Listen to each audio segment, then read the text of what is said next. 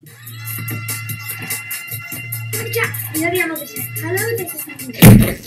今日はどうやって顔今日は教えます。今日は I'm gonna show tell you how to do an outside curl.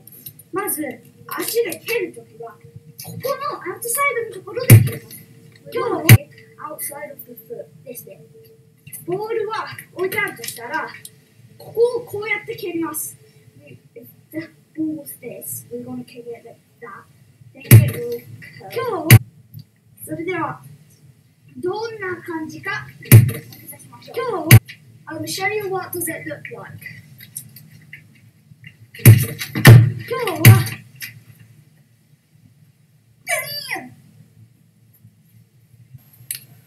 Kansa. 今どうやって蹴ったのかというとボールのここを足でこうやって蹴りました。How did I kick ball? I kicked this bit of the ball with the outside of my foot like that. Then it will spin. それでは皆さんもトライしてみてくださいね。